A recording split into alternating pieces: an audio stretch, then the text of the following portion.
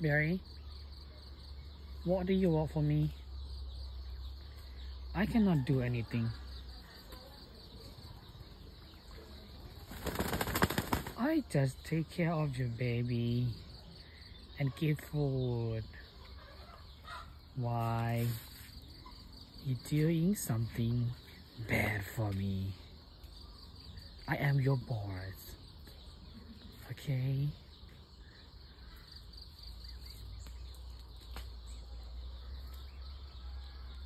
Look at this. Everything here for you. Look at this.